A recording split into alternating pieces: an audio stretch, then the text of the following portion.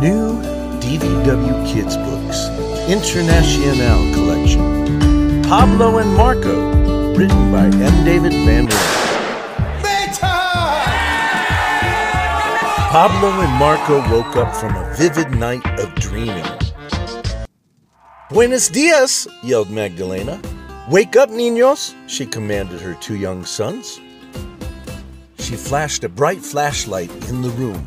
It's too early, the young boys complained. No sleeping in today, she informed the boys. I have tamales that you must sell in the market. Maybe we can get some candy in town after we sell the tamales, Marco said to his brother Pablo. Marco was the youngest at seven years old. Pablo, his older brother, was ten. If mom lets us get candy, I want apple diablo chamoy, said Pablo. It's too spicy for me, said Marco. Then chamoyada? asked Pablo. Raspberry shaved ice for me, no chamoy. Marco responded. Magdalena walked into the room and said, You can each have a shaved ice cone, but no more candy. What's for breakfast, Mommy? asked Marco. What do you think? asked Magdalena. I just spent all night making tamales. Making tamales was a lot of work for Magdalena, but she was known for them. She made the best. Most tamales are a bit dry, but hers are a bit saucy. The sauce is full of flavor. The tourists loved them, and it gave her some extra spending money. She was saving up for a new summer dress. She had a colonial kitchen with a case full of china just for show. There was an island table with a chopping block. There were bowls of fruit all around oranges, lemons, limes, and avocados. Can we have huevos rancheros instead? asked Marco. Sure, Magdalena replied. If you can lay a dozen eggs and cook it up, then we can have huevos rancheros. If not, then tamales it is. Oh, all right, said Marco as he walked into the bathroom to wash up and brush his teeth. Magnifico! came a voice from the kitchen. Best tamales I've ever tasted, said their father Diego. Save me some, Pablo shouted from the bathroom. You had better hurry, warned Diego. There are only 117 left. Marco laughed so hard that toothpaste came out of his nose. Which tamales did you prefer? asked Magdalena. They were all good, replied Diego. I packed one of each in my lunch for later. Gracias, he said as he kissed Magdalena and headed out the door to his truck. See you tonight in my new dress, Magdalena shouted back. Room went the truck as he sped off to work. Pablo came into the kitchen. Where's Papi? he asked. He left for work, replied Magdalena. But I was going to ask him something, said Pablo. You'll have to wait until tonight then, replied Magdalena. I'm sure he'll be in a good mood after you sell all my tamales. May I give Chiquita an orange? asked Marco. She's starting to gnaw on my finger. Sure, said Magdalena. Anything for the family dodo, she replied. Sometimes Chiquita surprised her with how smart she was, but usually she just got into trouble. Magdalena poured red sauce called salsa roja over the beef and pork tamales and white sauce called salsa blanca over the shrimp tamales. Here you go, said Magdalena with a smile. Eat up so you can tell all the tourists, honestly, how wonderful my tamales are. More salsa blanca, Mommy, demanded Marco. Oh, no, you didn't, Magdalena scolded Marco. What do we say? she asked. Por favor, Mommy? asked Marco. Now that's more like it, Magdalena replied. Of course, she said as she poured some more salsa blanca over her shrimp tamales. I feel sorry for the tourists, Mommy, said Pablo after he had finished his food. Why is that? Magdalena asked from the pantry. They don't get to pour your wonderful salsa over the top like we do, replied Pablo.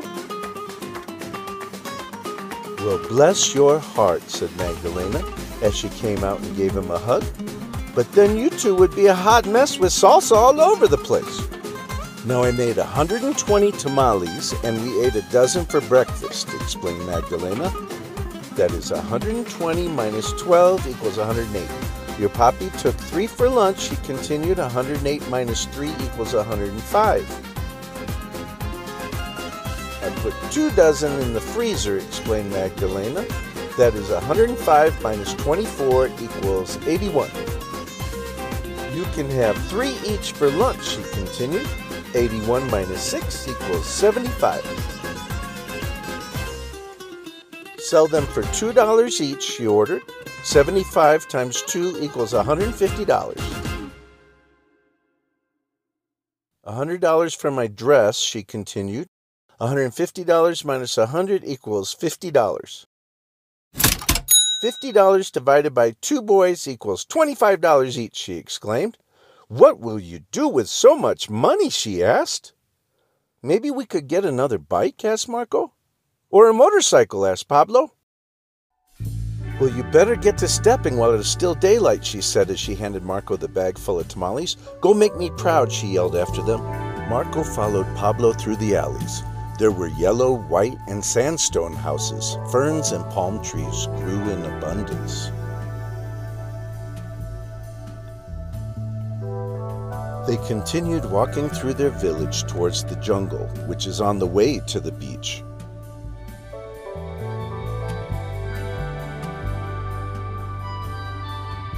It was beautiful outside. The white houses gleamed in the sun. The palm trees swayed with the light breeze. They could see iguanas in the trees. Mommy could make pozole out of that one, said Marco as he pointed to a big fat iguana in the tree. See, said Pablo, chicken of the trees. Maybe we can get one on the way home. they spotted a black cat hunting a green parrot.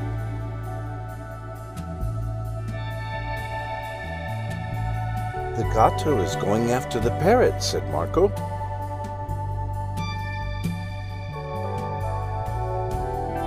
Don't worry, said Pablo. The parrot can fly away.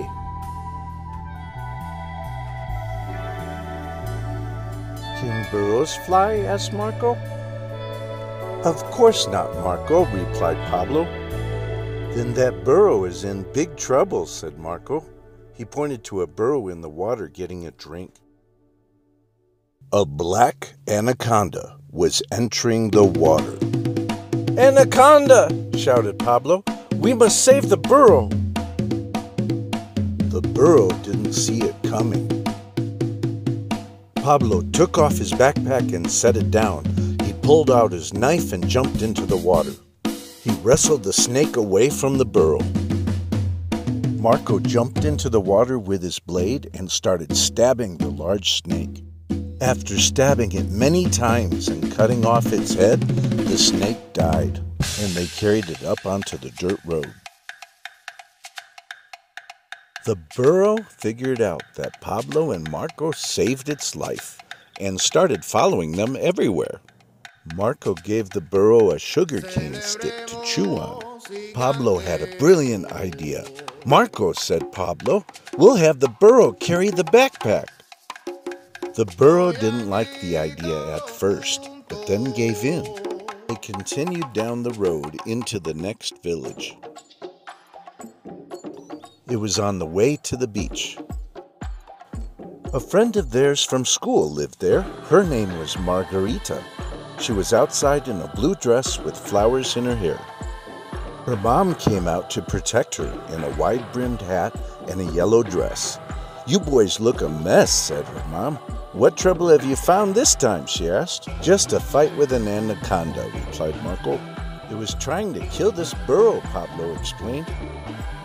Sometimes I wonder if you two will ever tell the truth, Juanita replied and stormed off. Did you really fight an anaconda? asked Margarita. See, said Pablo, and we killed him with our knives and left him on the road back there, Marco exclaimed. You two are very brave, Margarita concluded. Are you coming to my quinceanera party tonight? she asked. So that's why Mom needed the new dress, concluded Marco. See, said Pablo, we look forward to it. Gotta run. Adios.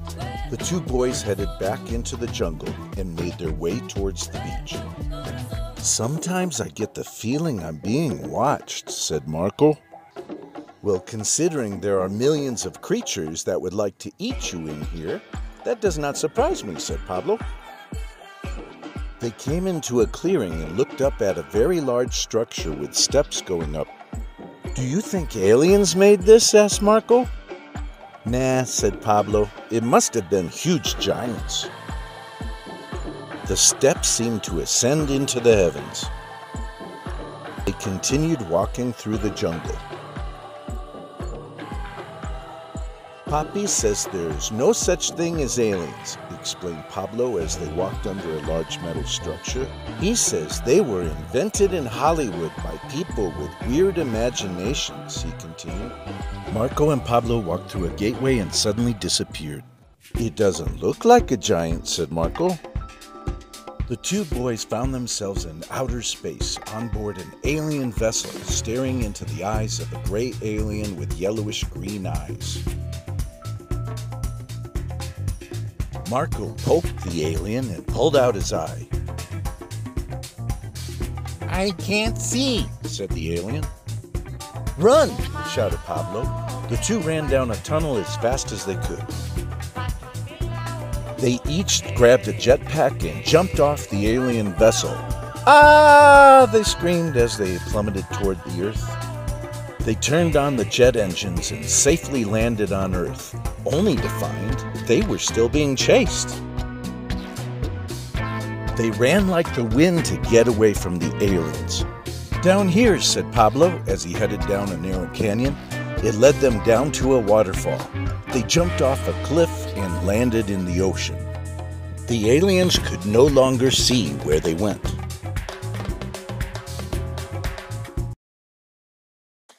As they swam up onto the beach, they saw their bag of tamales.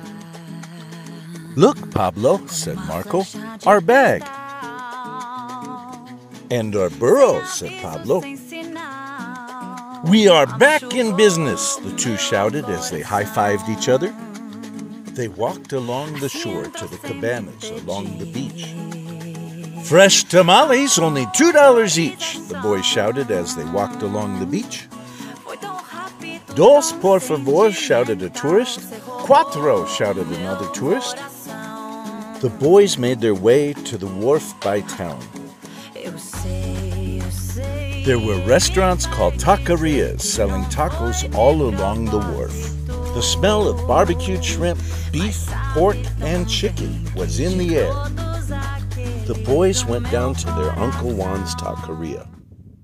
They agreed to give him six of Magdalena's tamales for lunch in trade for huevos rancheros for Marco and chicken and rice for Pablo. Their uncle let them hang out and sell their last two dozen tamales to people walking by his taqueria. They finished selling all their tamales and headed back down the boardwalk. They stopped for their raspberry shaved ice and then turned around to go home. They said goodbye to their uncle and some of their family friends on the wharf. They waved to the Padres and the lawnmowers on the way home at both downtown churches. It was a beautiful city. It was especially beautiful at sunrise.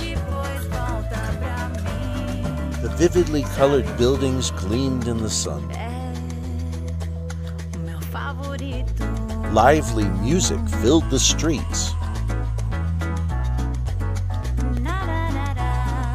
Knew they were running late, so they hurried home. They each took turns riding the burro. When they got home, their mom scolded them for being late and told them to wash up for the party.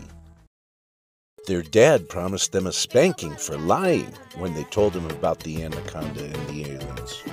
And then he saw the anaconda by the side of the road. Forget about the spanking, boys, he said. I am so proud of you. Have a great time. We had better wait to tell him about the burro, Pablo said to Marco after they got out of the car. See, said Marco. Sure are a lot of pretty girls, said Marco. They always dress up for a quinceanera party, Pablo explained. Everyone was dancing and having a wonderful time.